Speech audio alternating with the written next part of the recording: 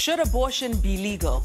The question is not whether it should be legalized, but because people are going to do it whether or not it's illegal. What disturbs me is that a 12 year old can go and have an abortion without parental consent. If we legalize it, we take away the danger of backstreet abortion. That's the conversation we're having on Ekse Let's Talk with me, Masechaba Lekalake, and Tall Asmo, and Refilwe Modiselle, and Palesa Kambi at 6 p.m. tonight on eKasi Plus.